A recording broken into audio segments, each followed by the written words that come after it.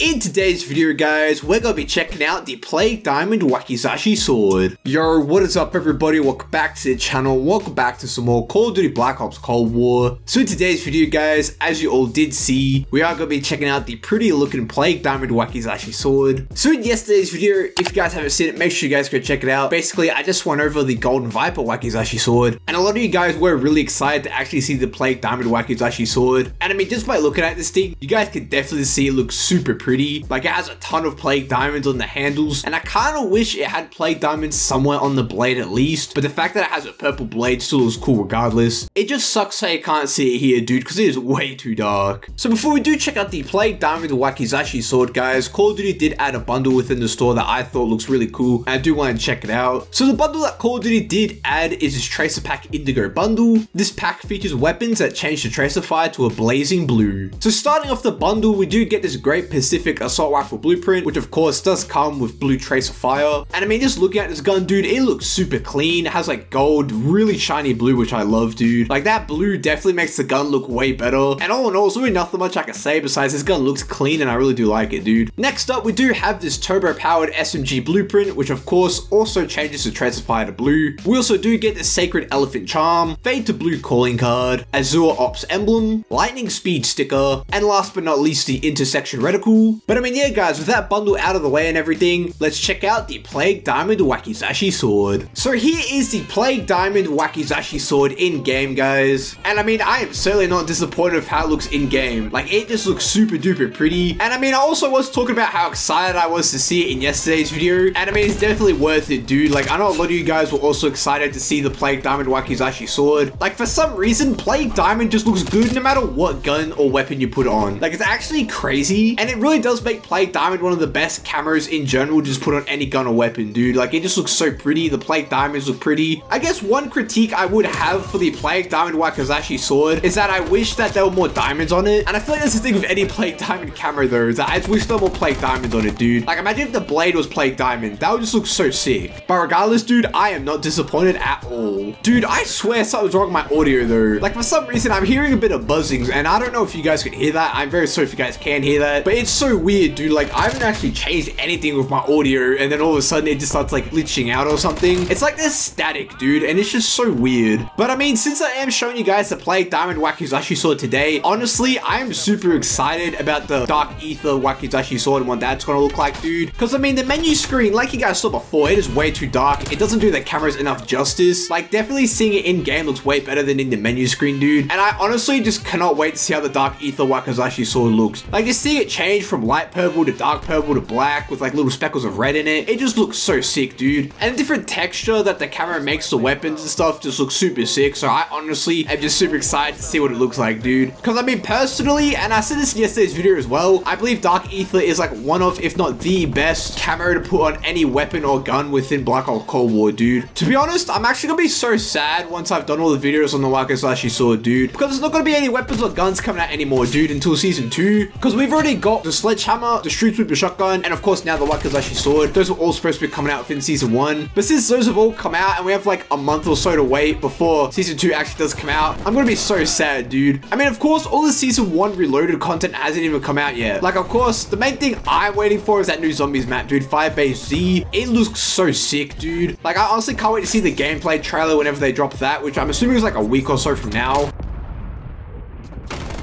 Corner camper.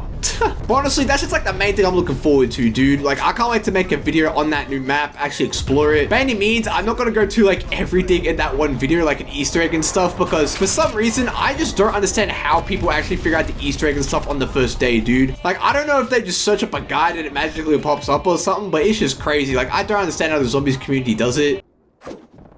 Damn. I miss that.